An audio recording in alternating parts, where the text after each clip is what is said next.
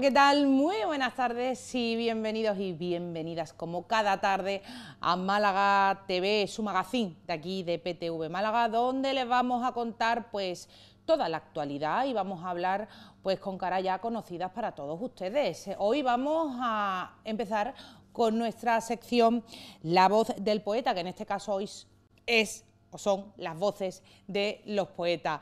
Hoy vamos a hablar con Susana Mérida. Muy buenas tardes, Susana. Gracias por estar aquí. Vamos a hablar también con Solán San. Muy buenas tardes, Solán. Muy buenas tardes. Y bueno, y decía yo lo de las caras conocidas, porque quien no conoce a nuestro queridísimo José Antonio Lavado, que él decía ya, me voy a traer la cama aquí a PTV. Ah, que sí, José Antonio, muy buenas tardes. Buenas tardes. Te hacemos un huequito aquí, encantados con nosotros. Además, yo ocupo poco, ¿no? bueno, pues si os parece, vamos eh, a empezar con esta magnífica sección y yo voy a empezar hablando un poquito de eh, Susana Mérida. Bueno, Susana Mérida eh, nació aquí en Málaga, es licenciada en traducción e interpretación. En la actualidad trabaja como profesora de educación secundaria y bachillerato. Obtuvo el tercer premio del tercer certamen de microrelatos 100 palabras en un metro, eh, organizado por Metro Málaga y el primer premio del primer, del primer certamen de relatos cortos Paisajes del Silencio convocado por el grupo Imagina. Asimismo, Forma parte de las antologías 50 microrelatos eh, libertarios y 100 palabras con, sonrisa, siendo su única obra en solitario Outlet Existencial, un paquete de poemas eh, de la colección eh, Poesía Móvil de BGR Editora. Posee un blog propio que se llama La, la Rebelión de Cenicienta y forma parte del taller de escritura creativa de Laura Santiago Díaz en Librería Luces. Chica, qué currículum, ¿no? Ella se ríe. No, oye. los currículums literarios son así, ¿Sí? son muy graciosos, sí. Ay, bueno, pues será yo que el, el primer currículum literario que leo en mi carrera como periodista, pero vamos que me parece llamativo todas las cosas que haces. Ah, bueno, pues muchas gracias, pero que va, no, no hay gran cosa, vaya, no. Bueno, eh, supongo que al ser profesora, eh, eh, Susana, esta pasión por, por, la literatura, por la poesía, se las tiene que transmitir a tus alumnos. Además, no veas, bachillerato secundaria. Sí. Edades maravillosas. Sí, sí, sí. sí. ¿No? sí sobre todo bachillerato, ¿eh? de verdad, es un poquillo duro. ¿eh? ¿Y la gente joven de hoy en día Mm, se siente atraída por, por, las letras o no? Sí, siempre hay, siempre, siempre hay alumnos que son incluso frikis de, eso y, eso se nota. Eh. Lo digo más que nada porque como estamos en la era de las nuevas tecnologías y hoy pues eh, la gente está de bachillerato, secundaria, eh, nada más quieren estudiar carreras de ciencia relacionadas con el tema de la informática, nuevas tecnologías. Hoy en día son pocos ya los que, los que ya nos interesamos por lo que nosotros decíamos letras puras, porque tú eres de mi quinta casi, ¿no? Sí, sí, sí, sí, sí. Y además yo soy de letras puras, sí. Pero todavía sigue habiendo gente de letras puras. Pero es verdad que eh, pero creo que es algo que no viene de los alumnos, es algo como, yo lo veo más bien como impuesto de fuera, que mm, eh, se piensa como que las ciencias tienen más salida, que es algo como más glamuroso, y lo otro es como que no te va a solucionar la vida. Pero eso no quita que hay alumnos que sí que les gusta, le puede gustar la la escritura o, la pintura o las artes, vaya, eso siempre, siempre hay, eso siempre te Tú sabes eh, que hay algo que a mí me da, me fastidia mucho y es que eh, todavía, por desgracia, a pesar de estar en la época que estamos, todavía se sigue la creencia esta de que los hombres son los que tiran más para las carreras de ciencia y las mujeres somos más las que tiramos para las carreras de letras. Y no tiene por qué ser así. Sí, pues eso está, está empezando ya a difuminarse porque yo lo que pienso es que eh, eso ha sido hasta ahora muy así porque no hemos tenido referentes. Entonces, eh, cuanto más referentes femeninos haya en las ciencias, más, más mujeres y niñas, chavalas van a, meterse también en la ciencia y, cada vez hay, más. Bueno, pues vamos a escucharte, ¿no? ¿Qué vamos a escuchar? Susana, sí. ¿qué vamos a Venga, pues mira, primero voy a empezar por un poema eh, rimado, como digo, digo, porque la poesía no tiene por qué ser rimada, ¿vale? Bueno, de rima sonante y es como, bueno, a mí me gusta pensar que podría ser como una especie de, de himno, ¿no? Lo digo así sin ninguna pretensión, pero vaya. Se titula Apaga tu móvil. Anda, mira. bueno. En tiempos de insomnio, banderas y amnesia, apaga tu móvil, prende tu conciencia. En tiempos de ineptos con mando y licencia, mantén encendida la calma en la hoguera. Tu arma guardada, la puerta entreabierta y un faro de rabia siempre en la tormenta. En tiempos de ruido y voces opuestas, de llamas que mojan y aguas que queman, hablemos del caos de nuestra conciencia, del hacha que ruge perdida en la niebla. Saquemos los muebles a nuestra azotea, los libros robados, las cartas secretas, los versos profanos, las Biblias auténticas. En tiempos de insomnio, banderas y amnesia, que no te abaraten los días de tregua, que la sed que sientes no aplaque tu queja, que no te silencien aunque hablar no puedas, la lumbre encendida, las manos abiertas y un plato caliente para los que besan. En tiempos de pugnas vacías y abyectas, de fácil calumnia y mentiras correctas, no hables en vano si el necio está cerca. Afila tu rabia, perfila la idea. No seas el siervo de aquel que te emplea. Jamás te doblegues a la incompetencia, ni halagues al necio que lleva tus cuentas. En tiempos de insomnio, banderas y amnesias, dispara a ti mismo, rompe los esquemas, que no te avasalle el mundo y su inercia, ni cedas al timo de la suficiencia, no envidies la gloria que da la opulencia, ni busques lo fácil desde tu indigencia. En tiempos de insomnio, banderas y amnesia, apaga tu móvil, prende tu conciencia. Qué bonito. Bueno, luego leeré unos sonetos un tanto frikis que tengo. Bueno, pero yo creo que el mensaje es muy potente, ¿eh? ¿No? Sí. Bueno, pues vamos a hablar ahora con eh, Solan San. Ella nació en 1976 en La Victoria, un pueblecito de Córdoba. Estudió en la Soborna de París, es psicoanalista y doctora en psicología por la Universidad Complutense de Madrid. Escritora y poeta. Solán, buenas tardes y muchas gracias por estar en nuestro programa.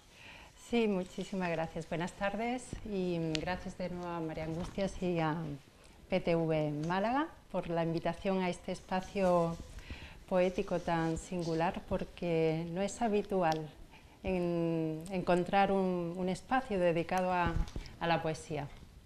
Eh, tu tesis eh, doctoral eh, es algo que me llama mucho la atención, Solán, porque le hiciste, hiciste una psicoanalítica de, la, poesía del tango. ¿Cómo se te ocurrió esta idea? Sí, porque en el corpus de las letras del tango encontramos formas de, lo inconsciente. Entonces apliqué procesos de la vida anímica desde el psicoanálisis, los apliqué a, a las letras del tango. Y em, en este me gustaría destacar el, trabajo del poeta y los sueños diurnos de Freud, en el que em, expone que em, las fuentes de inspiración pueden ser tanto, por ejemplo, sueños eh, nocturnos, el contenido, que soñamos por la noche, que tiene que ver con con los deseos y a la vez con la infancia. y, también puede, mm, la fuente de inspiración puede brotar de, sueños diurnos, que son eh, los pensamientos, los anhelos que vamos teniendo cuando vamos paseando por la calle, cuando eh, sentimos, reflexionamos sobre la realidad que vemos. Y todo esto el poeta lo articula a través de, la palabra y crea el poema, crea eh, un tango, crea un, una copla. ¿Cuáles son los principales eh, temas de tus trabajos, de tus poesías, de tu, de tu novela, Solán? Sí, los mismos. trabajo los mismos temas que podemos encontrar en, el tango, en el psicoanálisis, porque ambos hablan y se ocupan de, pues, del amor, de los celos, del deseo, del odio, de la libertad, del placer, de la sensualidad, de la sexualidad, de la vida, de la muerte. Y, mm, por ejemplo, la novela, la, novela eh, la última, Te nombraré Libera, está dedicada al psicoanálisis y a la ópera, pero mm, trato todos los temas que, acabo de, nombrar. Oye, Solán, ¿te escuchamos y seguimos hablando a continuación? Sí, muy bien. Muy bien. Eh, voy a recitar un, poema eh, que da título a este, a este libro, se titula Área de Ternura y, y tiene un prólogo muy particular que es una carta de amor de Francisco Olaya, que es el director de Jácara Editores, y es donde se ha publicado el, el poemario. Y el poema área de ternura. Sueño con nuestra alcoba de premuras en una orilla blanca de libertad. El añil del cielo y del mar conjurado en el latir áureo de tu mirada. Sueño con nuestros cuerpos amándose, ebrios de deseo y de la salvaje esperanza que transforma y transfigura el mundo, preñándolo todo, ofreciéndole una nueva alborada, una dádiva universal, un sonido insólito, un idilio de Wagner y Cosima al despertar.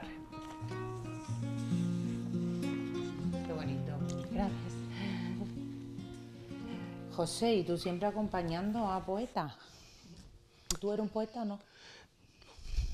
Tú eres un poeta de la guitarra. De la guitarra. Tú eres un poeta de la guitarra. que como lo mío es una mezcla, poesía, flamenco. Tú has acompañado a, grandes personajes, ¿verdad? Sabes que aquí han pasado, por aquí han pasado buenos artistas. Digo, bueno, que han pasado, ¿eh? Yo ahí no me meto, aunque esté... Mejorando lo presente. Mejor. Ah, bueno. No, sí, sí, por supuesto. Eh, está claro, claro. Mm. Sí. Bueno, pues eh, vamos a seguir escuchándote, acompañando en esta ocasión otra vez de nuevo a Susana. Venga, pues bueno, eh, voy a leer tres sonetos, voy a leer así seguidillo, que ilustran la actualidad política. El soneto yo sé que es una estructura muy clásica y muy cerrada, pero... Uy, pero está muy de moda. Sí, de, verdad están de moda, no sé, ¿no? Está muy de moda esto de Pero bueno, la política. lo curioso es que mm, son pues de la actualidad política, entonces pues... bueno, pues allá voy. Por fin ha habido acuerdo de gobierno, a pesar del discurso reaccionario, de los bulos y fake news a diario después de haber vivido un vil infierno Ahora hay que cumplir con el cuaderno, con el SMI y los salarios, impulsar los contratos hospitalarios precarizados por el subalterno, reformar el despido y anunciarlo e implementar la ley de los cuidados entumecidos por el desgobierno, los descuentos de trenes mantenerlos, el feminismo alzarlo y apoyarlo y lo del medio ambiente resolverlo. La izquierda se ha enfrentado a un avispero, a pactos y posturas enconadas y a una investidura saboteada sacando a España del atolladero. A pesar de los medios agoreros, a una amnistía más que cuestionada, a una jauría terrible por bancada y el cese inmerecido de Montero, tras el discurso zafio y bananero de una derecha desacomplejada, de partidos trumpistas y medreros, caciques con corbata y turroneros, que rezan cara al sol por lo que es suyo, utilizando el odio y el dinero. Bueno, y voy a terminar con un poema que digamos que ilustra un soneto sobre la ley integral de libertad sexual conocida como eh, la ley del solo sí es sí. La ley del sí es sí fue aprobada entre abucheos, mentiras, falsedad, descalificaciones a igualdad y una extrema derecha desbordada. Nunca una ley ha sido tan golpeada, vista con gran recelo y terquedad y por la ONU loada y celebrada, ya que abre nuevos marcos de equidad.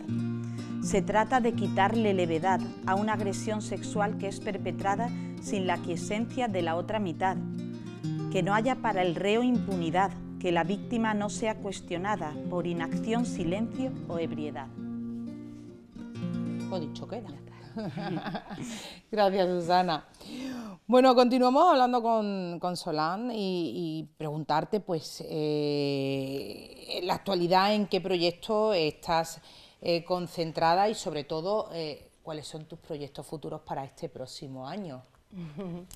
Sí, en la actualidad mm, soy socia numeraria y secretaria de la Sociedad Erasmiana de Málaga, presidida por el doctor Don Quintín eh, calle Carabias, y está conformada por eh, excelentes y extraordinarios eh, profesionales de una calidad humana y son hispanistas, catedráticos, médicos, abogados, farmacéuticos, historiadores.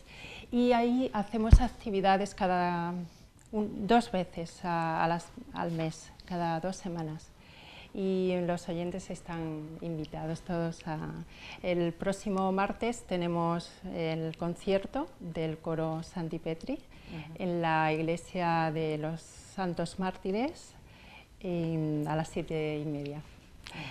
Y bueno, pues em, y los, el, proyecto para 2024 eh, voy a actuar en, en el ciclo de música de cámara del, del Museo Picasso, organizado por, por, la Orquesta Filarmónica, es un honor para mí, y estaré recitando acompañada de, en este caso mejorando lo presente, por mm, Raquel Pelayo al piano y voz y eh, Ángel San Bartolomé eh, con trompeta y fliscono.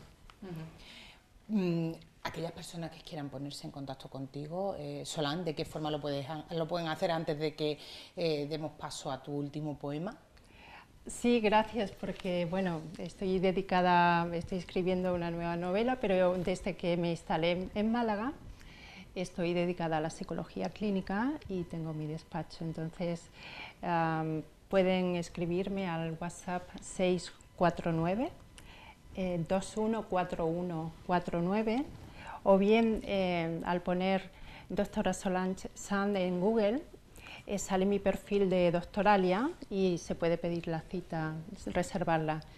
Y tengo el despacho en Santa Isabel, pasillo de Santa Isabel, pero también estoy con la terapia online, que yo tenía una resistencia, pero funciona muy bien y estoy encantadísima. Entonces las personas que que quieran online, también puede ser. Pues vamos a escucharte, Sola. Mm, quería contar algo muy conmovedor que me pasó el día 28 de noviembre eh, con este poema. Y, es que por la, yo lo había compartido en Facebook a modo de recuerdo. y, me escribió por la tarde un, un amigo Em, y me comentó lo siguiente. él, es José Suárez Padilla y, me dijo, qué casualidad Solange, mi madre, Esperanza, eh, falleció ayer y me ha emocionado ver tu publicación de Facebook con su nombre. Y más aún, ese final del poema con referencia a esa falta de esperanza en la guerra su nombre respondía precisamente al deseo de recuperar a mi abuelo, encarcelado injustamente cuando ella nació. Em, y porque el, poema se titula De la esperanza. Y me pareció entrañable lo que. y se sintió identificado, que es una de las funciones de la poesía. Se trata que, de que el lector la haga suya y la sienta. La esperanza, lo mismo que el amor, está en todas partes.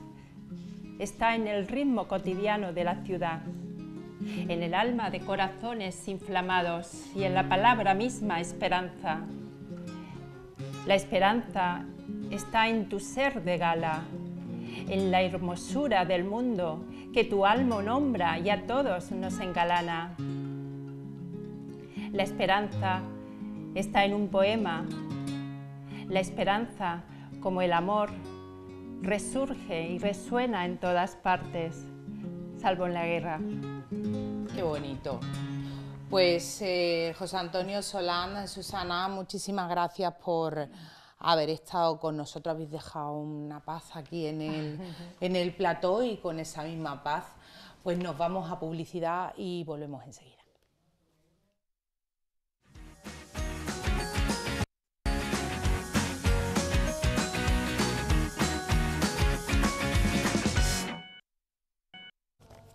Pues continuamos en directo cuando pasan 42 minutos exactamente de las 6 de la tarde aquí en Málaga TV y nos vamos a ir directamente a hablar con nuestra compañera Marta González que se encuentra en un lugar muy especial de nuestra ciudad y que están haciendo un llamamiento muy especial también y necesario para estas navidades, ¿verdad que sí compañera?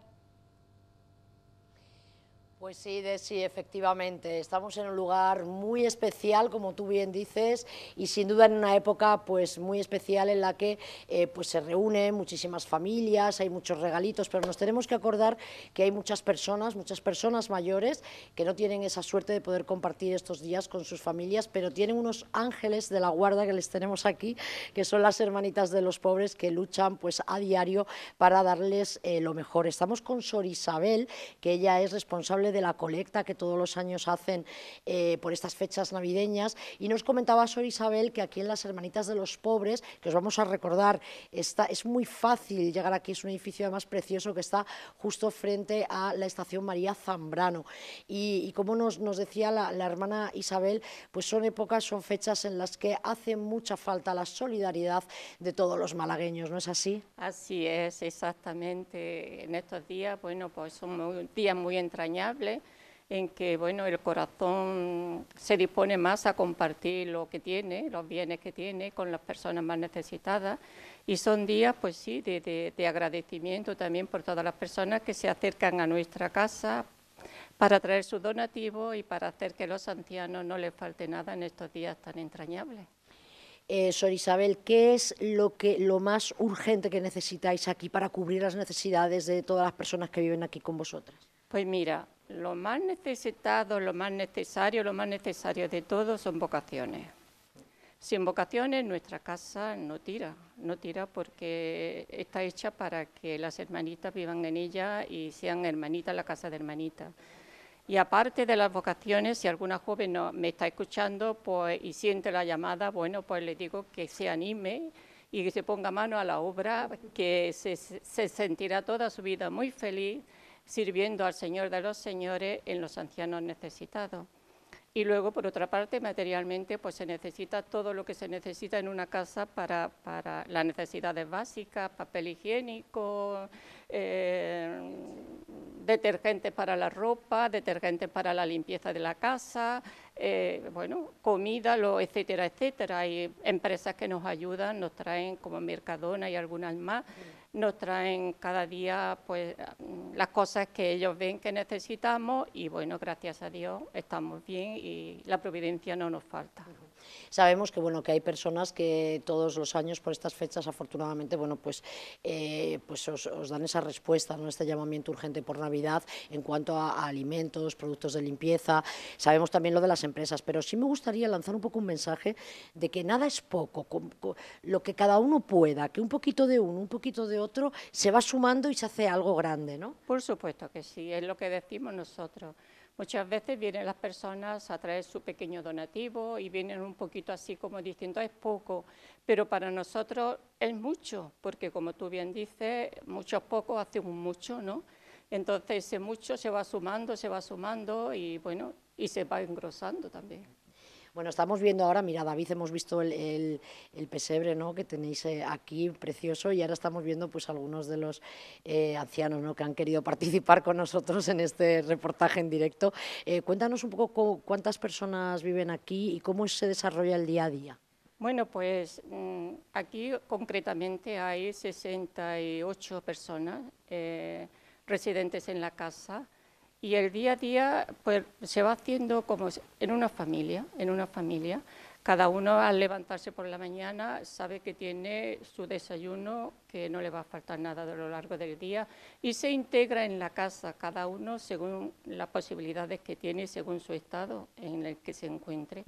Entonces, bueno, tratamos de formar esa familia en que cada uno se sienta útil, que cada uno se sienta responsable de la casa, que sienta que su casa, la casa de, las hermanitas es la casa suya y como tal se siente responsable y sabe que no se encuentra solo ni se encuentra tampoco sin hacer nada, sin ser útil en la vida, que es lo muy necesario, ¿no? Entonces, bueno, pues cada uno cuando se levanta, unos se van al, al lavadero, otros van a la capilla a ayudar, otros van a barrer el jardín, cada uno desde por la mañana tiene su puesto asignado según sus posibilidades y sus gustos y desde por la mañana después del desayuno cada uno se va a su puesto. Luego por la tarde, pues bueno, la Eucaristía la tenemos a las 10 de la mañana, libre para el que quiera asistir. Y bueno, luego después el almuerzo al mediodía, eh, la tarde ya se deja para sus recreaciones, sus películas, vean la tele, ven de todo. Aparte de eso, tienen el día que si tienen que salir por algo o se quieren ir con la familia, son plenamente libres y los dejamos, claro que sí, por supuesto.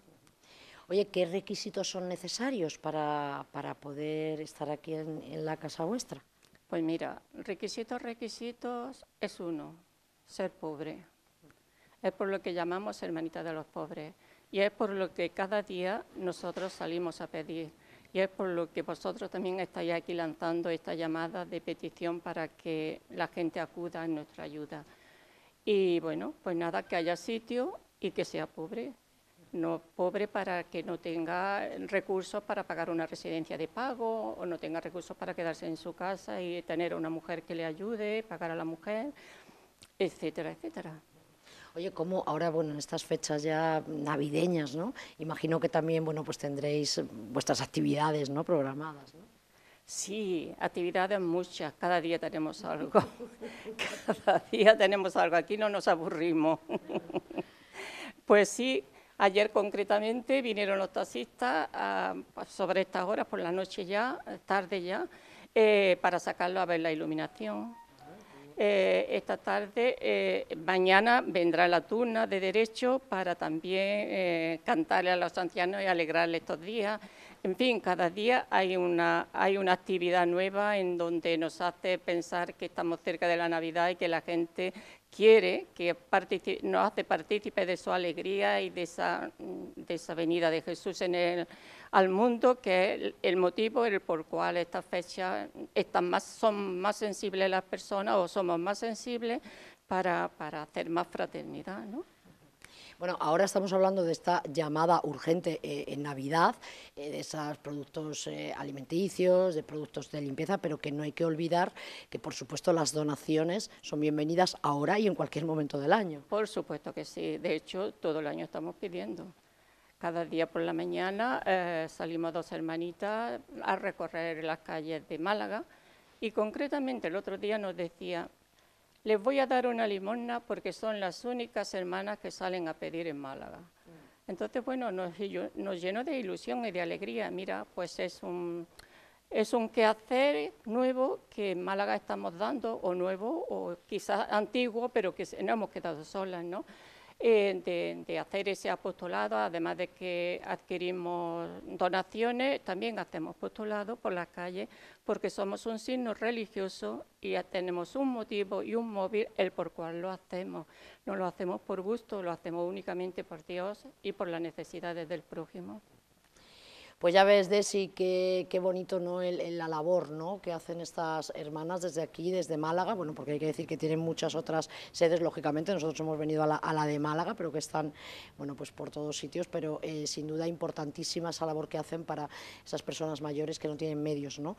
Eh, en este caso, pues eh, cuentan ¿no? con la ayuda de, de ellas, de su cariño y sobre todo la nuestra, que hay que insistir en que hay que ser solidarios y acercarse. ¿Qué horarios son los que las personas que nos están viendo que digan, bueno, pues yo voy a aportar un donativo o voy a aportar eh, tema de limpieza de alimentos, ¿a qué hora pueden traer las cositas? Pues mira, la puerta está abierta desde unas 10, media, 11 hasta la noche que se cierra sobre las 9 o así. O sea, las puertas están abiertas bien para recibir gente, aunque no sea para traer cosas, como para eh, recibir las cosas que nos traen.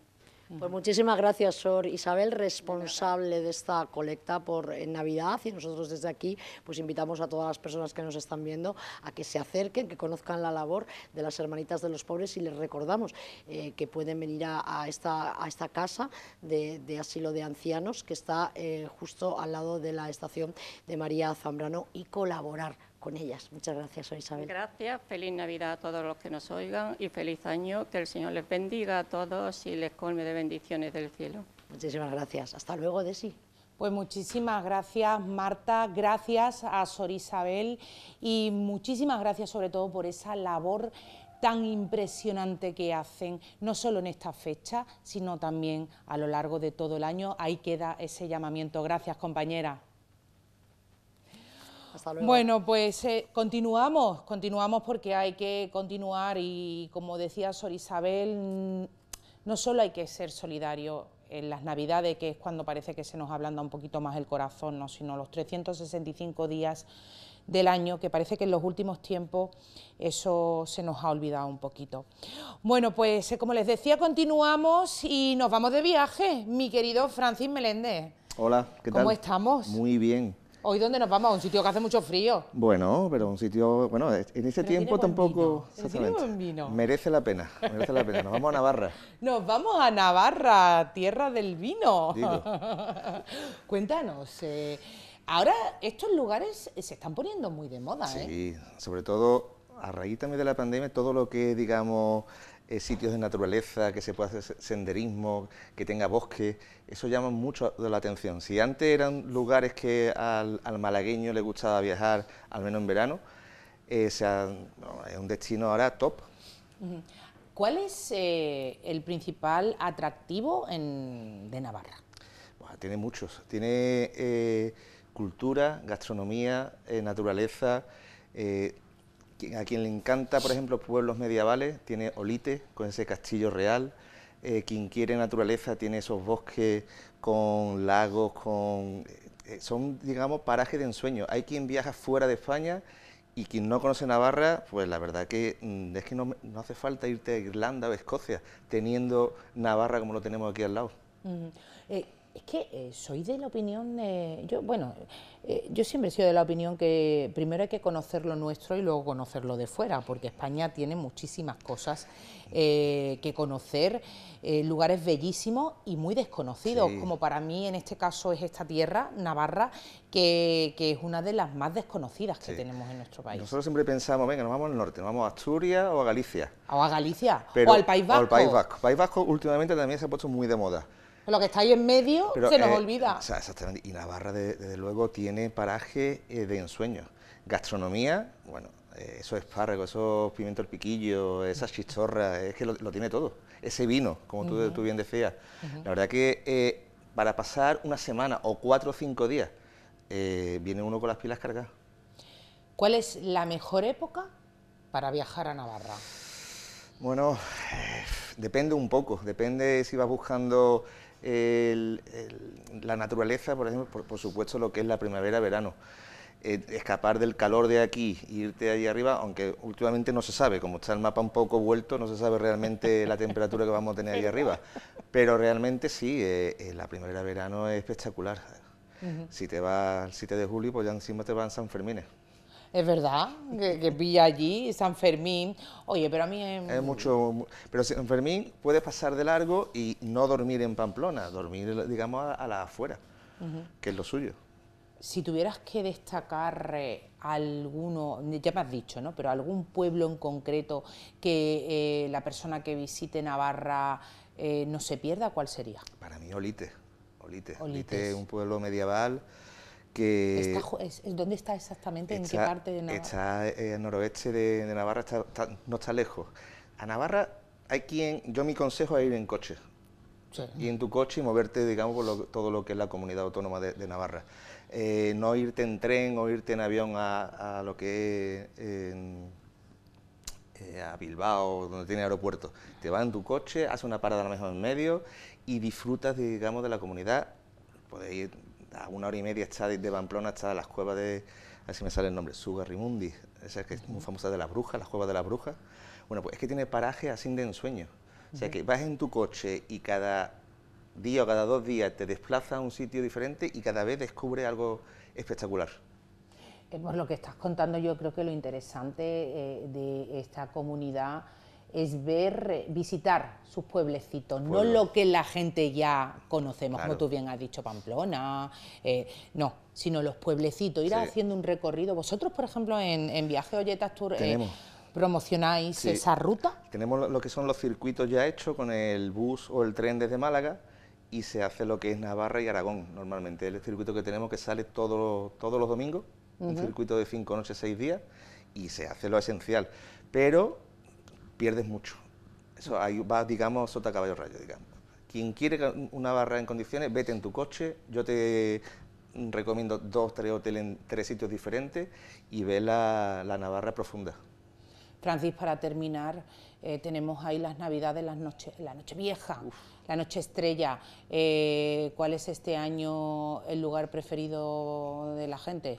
No me digas su casa. No, casi, pues está imposible. Yo no sé lo que ha pasado este año, este, este año en especial, eh, los hoteles se han vuelto locos, se han vuelto totalmente locos. ¿Pero en precio la gente? En precio, en precio. Dormir una noche con el cotillón y la cena de 200 euros por persona no baja. Madre mía. Es una, locura y está todo lleno. Pues eso me parece más locura. porque estamos aquí nada más diciendo, no tenemos ni un duro, no tenemos ni un duro, pero está todo lleno. Está todo lleno. Y precio eh, desorbitado. Eh, todavía se puede conseguir, digamos, un vuelo con hotel a Europa. Eso sí. Y a lo mejor te sale incluso hasta más te Sale mucho más barato, simplemente de que no tiene, no sabe, va un poco a la aventura, no sabe dónde va a cenar esa noche. Te llevas tu uva y te ah. las tomas en el centro de la ciudad, en Praga o en Viena o en Londres, donde quieras. Y te sale, por supuesto, mucho más económico que irte a un hotel aquí en la costa. Pues eh, espero que hayan tomado nota. Francis, muchísimas gracias, por haber estado con nosotros. A ver dónde nos vamos dentro de 15 días. Vale. bueno, señores, vamos a escuchar un poquito de música y cuando volvamos hablamos de salud.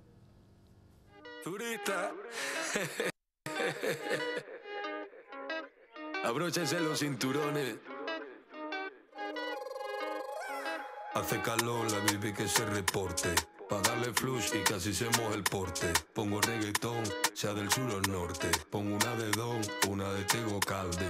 Hace calor, la baby que se reporte. Pa' darle flush y casi se el porte. Pongo reggaetón, sea del sur o norte. Pongo una de Don, una de Tego Calde. La baby es sencilla y va a apretar. Lleva las trencillas pa' desacatar. Una malla que brillan por lo que hay detrás. A todas ellas le encantan pilotar. Bandida, bam, bam, bandida. Donde va solita se le acerca la bebida. Le gusta el champán, bam, bam, bandida. Eres la más bella, mi mulata preferida. Hay turbulencia en el avión, ok. Hay turbulencia y con paciencia. Hay turbulencia en el avión, ok. Hay turbulencia y con paciencia. Hasta abajo, sin trabajo. Que algaje, pa'l carajo. Ella me baila como ninguna. Ella me sube una locura. Hay turbulencia en el avión, ok. Hay turbulencia y con paciencia. Hay turbulencia en el avión, ok. Hay turbulencia y con paciencia. De mi quilate lo que tiene es auténtico. La pierde el Líbano, por eso que la miran todos. Ya la conocen por el parita de escándalo. Pero quiere conmigo probar lo que tengo yo. Y tú, estás bien crecida, pero conmigo no. Bella que hasta abajo quiere reggaetón. Esta canción es pa' que la muevas todo. Pongo la receta, tú pones Hace calor, la baby que se reporte Pa' darle flush y casi se moja el porte. Pongo reggaetón, sea del sur o norte. Pongo una de Don, una de Tego Calde. Hace calor, la baby que se reporte. Pa' darle flush y casi se el porte. Pongo reggaetón, sea del sur o norte. Pongo una de Don, una de Tego Calde.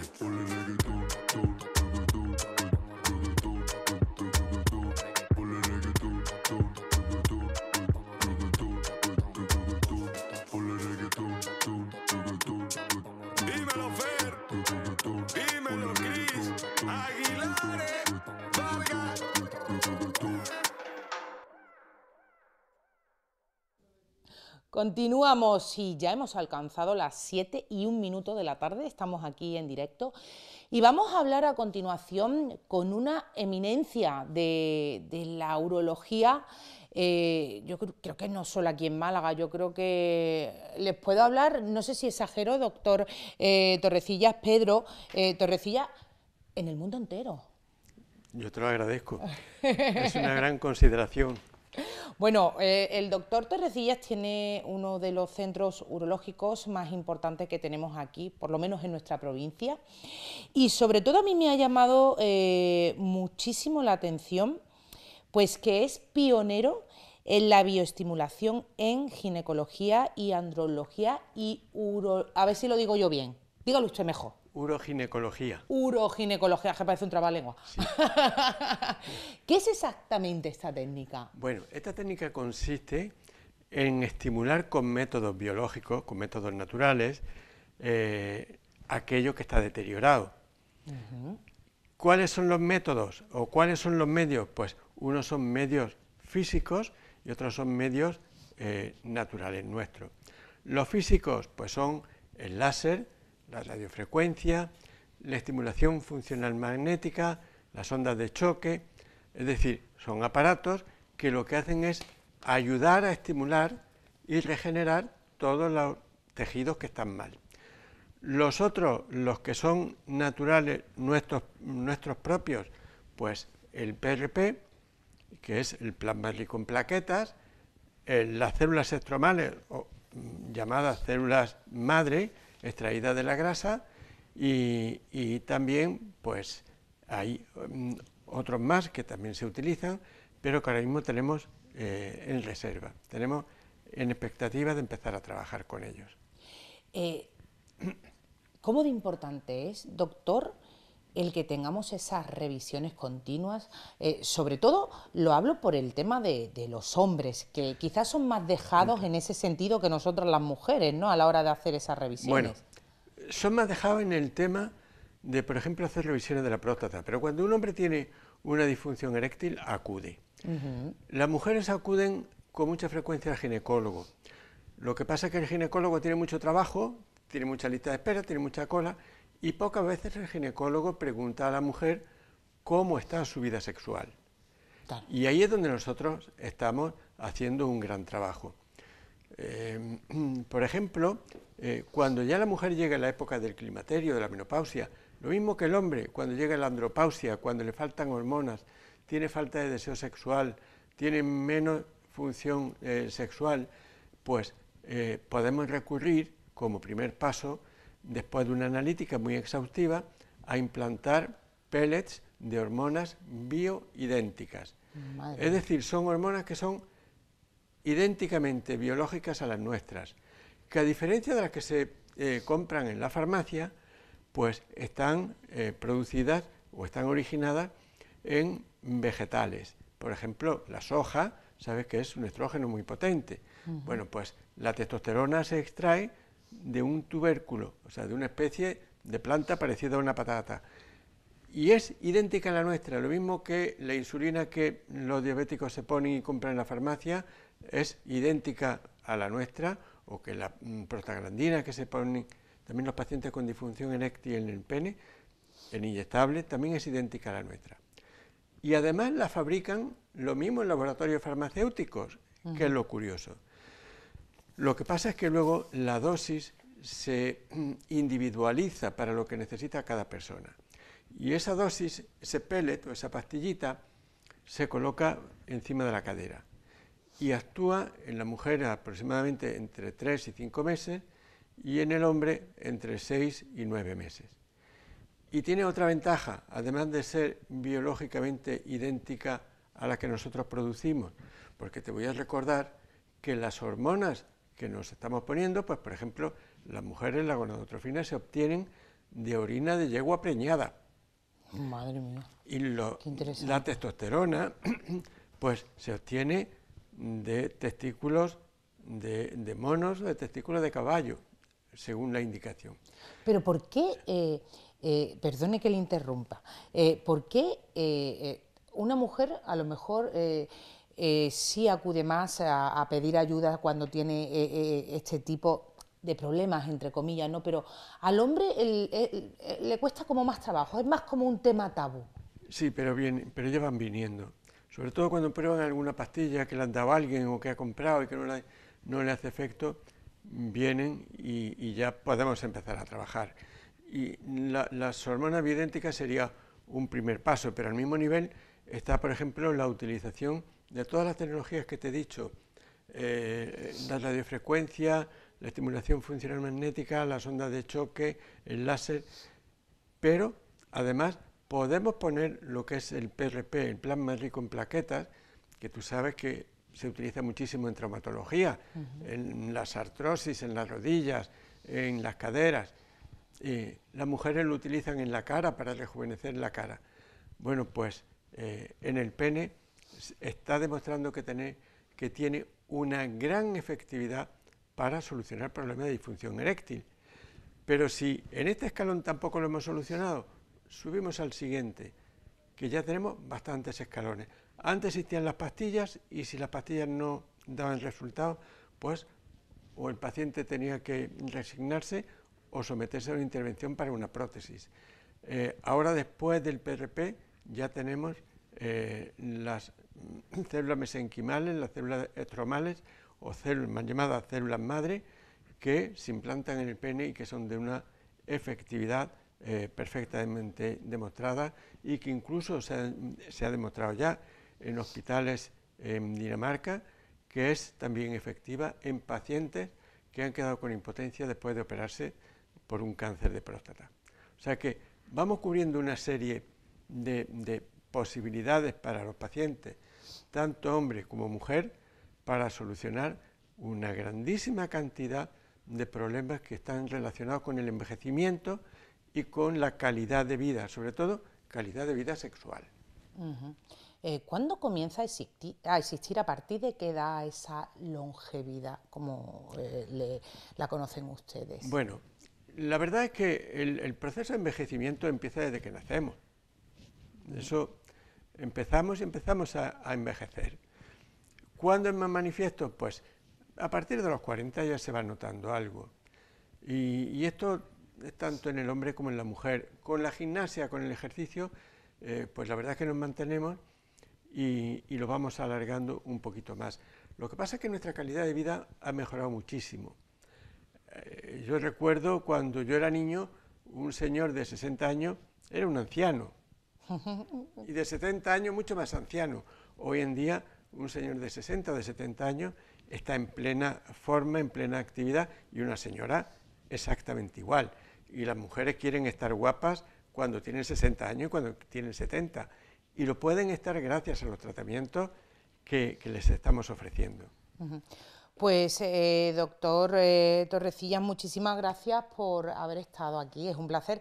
Eh, seguiría preguntándole muchísimas más cosas porque me parece un tema interesantísimo, muy de actualidad, pero también muy desconocido para, muchas personas y que, y que tienen muchas cosas, muchas técnicas que, oye, que es bueno conocerlas. muchas gracias y además hemos creado con el profesor Gustavo Libachov, de la Universidad de Texas y que es especialista en grasa, un eh, centro para eh, tratar, para mm, formar, para divulgar entre todos los médicos los tratamientos de la extracción de células madre para la utilización en todos estos problemas y, bueno, estamos al servicio de todos nuestros pacientes. Impresionante cómo avanza la, la ciencia, lo dicho, gracias doctor. Bueno, nos vamos a escuchar un poquito de música y cuando volvamos vamos a hablar con mi querida Carmen Mestanza, ya saben ustedes, Salvar la Vega de Mestanza.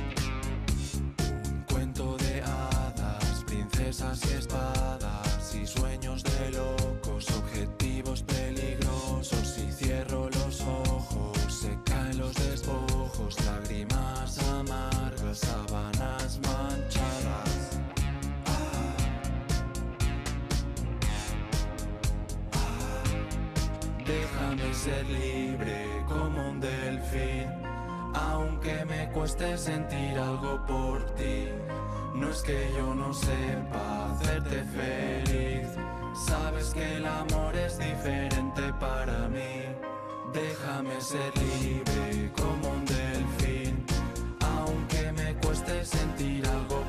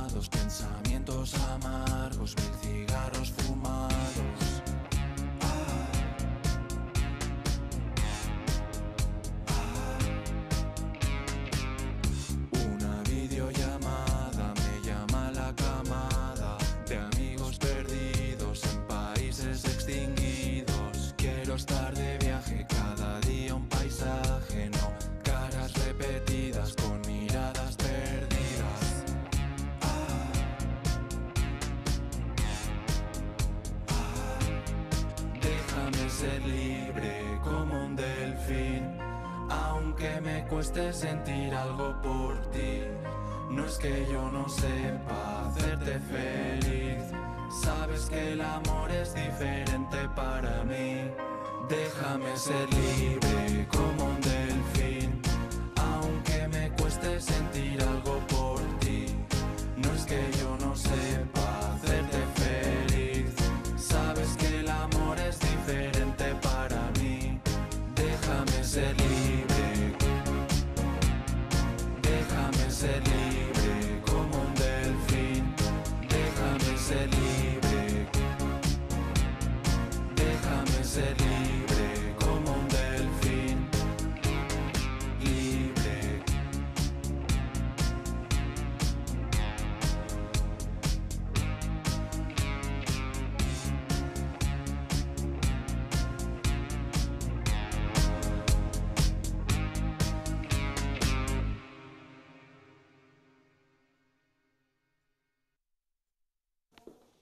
Bueno, ya se lo contaba yo antes de escuchar eh, un poquito de música. Tenemos con nosotros a, a Carmen Mestanza. Muy buenas tardes, Carmen. Buenas tardes. Mi querida Carmen, una luchadora incansable para salvar esa Vega de Mestanza, una mujer que yo creo que se está recorriendo toda España y porque no tiene que Europa, sino también iría a que la escucharan para salvar la última Vega que queda aquí en Málaga. Muy buenas tardes. Buenas tardes. Bueno, ella viene acompañada por, por Juan Santos. eh, ellos le dicen el ingeniero, porque es, apodo, de eh, apodo. es quien conoce muy bien el terreno. Recuerdo que una de las veces, una de las tantas veces que hemos estado allí en la Vega de Mestanza, él nos lo explicó todo perfectamente eh, a través eh, de unos planos. Y bueno, eh, Carmen, mm, la pregunta es obligada. ¿Cómo está la situación? La situación es, la vega está preciosa, cargada de naranja, un colorido. Mm, Hemos hecho un inventario de fauna y flora. es riquísima. Cuando los informes de la Junta de Andalucía dice que allí, como es agricultura, pues no hay ni fauna ni flora. Vamos, es increíble. Y mm, aquello está precioso y llevamos cuatro navidades. Esta es nuestra cuarta Navidad que estamos luchando. En fin, las navidades no las pasamos muy bien porque estamos en la lucha y con esta amenaza de, de la Junta de Andalucía. Pero bueno, seguimos fuertes, seguimos haciendo cosas. Ahora para Navidad estoy haciendo unos jabones mm, artesanales, que me lo ha enseñado mi madre cómo se hace, y yo lo estoy haciendo y los regalo, en fin. Y estamos encantados de estar aquí, porque lo que más nos gusta es dar las gracias. Las gracias por el apoyo, por estar ¿Qué os dicen, aquí. ¿Qué os dicen desde los distintos partidos políticos, sobre todo desde el principal, desde la Junta de Andalucía, que es eh, quien eh, os quiere echar abajo la Vega de Mestanza? Claro. Pues lo que nos dicen todos es que es un error, que es un error. Nos dice el alcalde de Alaurín de la Torre, esto es un error. Eh, llega don Francisco de la Torre y dice, mm, voy a ofrecer otro emplazamiento, porque vio que también era un error. En los partidos, el PSOE, todos los demás partidos es un error, todos han estado allí, todos dicen que es un error, pero mm, es que es demasiado tarde, o sea, se descubre que es un error y se persiste en el error. Es que es incomprensible, es incomprensible. ¿Cuántas personas han pasado por allí ya? Bueno. De políticos me refiero, del color que sea. Todos, todos, todos los colores. Porque nosotros lo que queremos es visibilidad, que todo el mundo se entere y todo lo que hacemos es para lo mismo. Estar aquí es para que Málaga se entere que tiene una vega preciosa en el término de Campanilla, en la barriada de Santa Águeda, eh, un- que se está viendo en las imágenes, una vega fructífera, es una maravilla. Y Málaga tiene que saber que es la última vega que le queda, porque el hormigón se ha comido a las restantes. Y esta es la última. Y la vamos a defender, la vamos a defender, porque cortar 20.000 árboles en los tiempos que estamos, con el discurso que hay de cambio climático y demás, y de CO2 y todo lo que se habla, me parece que, que no va a ser. Me parece que no van a cortar ni uno. Juan, eh, ¿qué es lo que exactamente quieren hacer allí? ¿Por qué quieren cortar esos 20.000 árboles? Sí, pues el, el objetivo principal es una depuradora, una depuradora que va a dar servicio a las aguas residuales de, de Cártama, a la orilla del Grande, que son precisamente por lo que se está pagando una multa a la Comunidad Europea porque se terminó el plazo que daba la, la Junta pa- para la depuración de las aguas. Entonces esa es la principal causa. Necesitamos una depuradora y se suma también el hecho de que la de Málaga está llegando o ha llegado ya al límite de su capacidad. Entonces la opción que ha buscado la Junta de Andalucía es hacer una nueva depuradora donde se puedan depurar las, las aguas de los municipios de Cártama y Grande para de una manera solventar ya el tema de, la- de las multas y la deuda con la Comunidad Europea y por otra parte ampliar un futuro más amplio a la depuradora de, de Málaga. Pero mm, es un proyecto que, es verdad, estamos todos de acuerdo, que va con mucho retraso, es un proyecto que tenía que haber estado eh, funcionando ya en el año 2000 y llevamos ya 23 años de retraso, pero mm, la ubicación es lo polémico. Se han tratado de ubicarla en la Vega Mestanza, que es una zona inundable, donde todas las normativas municipales, ambientales y demás eh, van en contra de la Comisión Europea, que dicta que en zonas inundables no se puede construir, y aparte, por estar en zonas inundables, encarece muchísimo el, el proyecto. Es decir, nos encontramos con las dos, con las dos cosas. Eh, aparte de el impacto medioambiental, el arrancar, como bien dice Mari Carmen, más de 20.000 árboles, eh, colectores por, por zona de, de cultivo, caminos de acceso que se va a crear y el impacto sobre la inundabilidad que va a tener la depuradora, porque para poder construir la depuradora hay que hacer una infraestructura una plataforma, una, una isla eh, de 4 metros de altura, que ya en el proyecto se recoge que va, a subir los niveles de inundabilidad de todo el Valle del Guadalhorce cuando ya hay muchísimas viviendas que están sufriendo desde hace muchísimo tiempo. Tenemos el ejemplo de Campanilla hace unos años de graves inundaciones, incluso si nos remontamos más antiguo, en el 89, con víctimas mortales de 6 o 8 personas, en fin, que es una modificación muy drástica que va a suponer en todo el Valle del Guadalhorce. Bueno, hay que decir eh, que mm, a ti te han llegado a decir, eh, en este caso lo podemos decir porque te lo han dicho Elías Bendodo, eh, que este proyecto va a tirar para adelante a no ser que un juez lo pare, vosotros vaya por todas, supongo, ¿no? Ya esa denuncia, esa demanda está puesta, eh, no sé cómo está la situación ahora mismo en ese sentido. Y las que vendrán, y las que vendrán. Esto podemos alargarlo en el tiempo. Si ellos persisten, nosotros vamos a defender la Vega a muerte. Entonces, pues ellos verán mm, si tanta prisa corre la depuradora y, estamos en este plan, que ya esta es la cuarta Navidad, te digo, la cuarta Navidad. O sea, yo te conocí en plena pandemia. Eso. Y ya estaba tú lía con tu vega de mestanza y, Juan y todo. Mira, te quisiera pedir una cosa. Yo sé que tenéis un programa muy bonito que va a ir por todos los distritos de Málaga. Mío. ¿Ese? Mío. Entonces, cuando vayáis... Yo estoy aquí de sustituta, ya lo saben ustedes. Yo estoy de sustituta, pero mi programa es distrito que ya aprovecho para decirle que este viernes hacemos un resumen de lo mejor del distrito de todo el año, perdón. Pues entonces cuando vaya mm, a Campanilla, es que la Vega es de Campanilla, pero claro, como está en la margen derecha del río, pues está que, que, no se ve, invisible. Pero pues que queremos estar también en soy de Campanilla, hombre, claro, si yo he estado allí y tengo el burrito que me hiciste, lo tengo allí puesto en casa, que me lo regalaste para mi niño. Pues Mari Carmen, eh, Juan, muchísimas gracias por haber estado con nosotros. Me encanta Huele de maravilla, ¿eh? A limpio. A limpio, como es la Vega de Mestanza, limpia. Gracias a los dos por haber estado con nosotros. Y mira, qué, interesante compartir ahí esperando los invitados que traes. ¿Has visto que, tú? Que hemos visto a, Francis de viajes olletas, por Dios que dan ganas de viajar. Hombre, aquí vamos, aquí traemos compañeros, gente maravillosa de todas las índoles que nos cuentan de todo, o de casi todo, lo que se puede en este horario. Bueno, pues eh, gracias a los dos.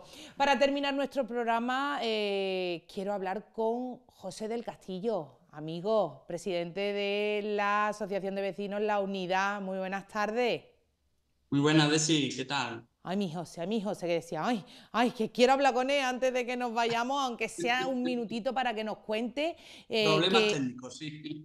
Eso, eso, que me cuentes brevemente, eh, porque nos quedamos ya sin tiempo, eh, que tenéis ese mercadillo navideño tan maravilloso que hacéis. Este es el quinto, si no recuerdo mal, o el cuarto. El sexto ya. ah, el sexto, mira, no da ni una, ni el cuarto, ni el quinto, el sexto. el sexto ya que hacéis en la Nueva Mala. Cuéntanos a partir de cuándo los días que vais a estar y a partir de qué hora. Vale, pues estamos mañana, solamente mañana, estamos desde las 6, empezamos a las 6 de la tarde, estamos hasta las 9 de la noche, y a las 6 de la, de la tarde empezamos pues con una chocolatada, chocolate con churro, que la cofradía es quien ha puesto la, el chocolate, y bueno, la temática del, del mercado es en muchos comercios, llevamos más de 75 comercios que nos han donado o servicios o artículos que, que ellos venden, gratuitamente para que las asociaciones benéficas que van a estar aquí en el mercadillo, que son seis, que te las comento, ACU, Mechones Solidarios, Princesa Red, Comedor Social Yo Soy Tú, ASAMA y Asociación de Turner de Andalucía, pues lo que ellos vayan vendiendo de pues, sus pulseritas, calendarios, pues van a ir repartiendo una papeleta. La rellenan la papeleta y al final del, del evento, que a las 9 de la noche, pues haremos el sorteo pues, de los 70, no, llevamos por 85 productos y servicios, desde décimos de Navidad, lotes de, de Navidad, eh, servicios de peluquería, zapatillas, pijamas, bueno, un montón de cosas. Eh, organizamos nosotros la asociación, colabora, como he dicho, Nueva Esperanza, por supuesto el Distrito 4 y Central Ciudadana. Y nos patrocina pues Tenocasa, que es importante también, siempre un poco, oye, los, patrocinios se vuelcan con nosotros. Vamos a tener un Papá Noel, vamos a tener eh, juegos infantiles, actuaciones, eh, lo que, como he dicho, chocolatada y, y los sorteos. Pues todo eso y mucho más, que seguro que tendréis alguna sorpresita que otra. Mañana a partir de las seis y media, ¿has dicho? A partir de las seis de la tarde. A partir de las seis de la tarde. ¿Dónde exactamente, José? En el centro, eh, centro Ciudadano Antonio Sánchez Gómez, que es aquí donde nosotros tenemos la sede, está para que lo ubique un poquito más la gente, justo al lado de la, de la, Cofradía Nueva Esperanza. Sí. Pues aquí estamos nosotros, un poquito más arriba, aquí estamos nosotros y estaremos, bueno, pues eso, pues con, dinamizando un poquito la tarde, una tarde solidaria, con los churritos, con, bueno, también quien pueda aportar, si no, eh, comida no perecedera o artículos de aseo personal, o si no, ya digo, comprando las diferentes asociaciones que están aquí, se les da la, la participación para, para los sorteos. Qué maravillosa labor eh, hacéis, José. Ya la sexta, habéis dicho yo. La sexta, de verdad, eh, de, si no te imaginas ¿Eh? los comercios, los comercios que bueno, han ido donando, ya te digo, pues creo que vamos por 87 sorteos que vamos a hacer. Oye, donado, Málaga... todo para que, animando a, lo, a que la gente compre a las asociaciones benéficas. José, es que en la Nueva Málaga la actividad comercial es, vamos, sois de activo Mm, vamos, y ayudáis, participáis, colaboráis, eh, vamos, muy activos. Tenéis unos comerciantes muy activos y, que colaboran asociación. Y hacemos un montón, un montón de, cositas. Hicimos, bueno, estamos todavía con lo del proyecto este de las persianas, hemos hecho lo del rasca, lo de las cruces de mayo. Bueno, bueno, no, la verdad que es que se, también se prestan tanto los vecinos como los comercios, se prestan a todo lo que, lo que proponemos no paráis. Pues José del Castillo, gracias de nuevo por estar aunque sea este ratito y sobre todo darle visibilidad a esa labor tan maravillosa y solidaria que hacéis, aunque ahora estamos en Navidad y parece, pero es verdad eh, que en este caso, eh, tanto la asociación de, José como eh, todas mm, las distintas asociaciones, entidades que hay en la Nueva Málaga Cofradía, comerciantes, siempre estáis haciendo cosas para ayudar a todo aquel o aquella que lo necesite. Hemos, hemos, hecho recogida, bueno, ya saben, hemos hecho recogida cuando el terremoto en Marruecos, en Siria, cuando la guerra de Ucrania, lo de Campanilla, la inundación de Campanilla, pues lo trabajamos conjuntamente con Antonio Paneque y la verdad que no paramos. Bueno, eso es bueno, que no paréis. Pues gracias, José, un beso fuerte. Muchísimas gracias a ti, Desi. Un besito. Bueno, pues eh, señores, hasta aquí nuestro Málaga TV de hoy. Yo les veo mañana en Distrito y el próximo lunes de nuevo en Málaga TV porque nuestro compañero sigue de descanso con nuestro debate político, que ya saben ustedes que a mí me encanta. Un besito, chao. La época más salvaje del año ya está aquí. Y solo sobrevivirás a ella con una gran dosis de buen humor. Guerras navideñas. Disponible solo en Break.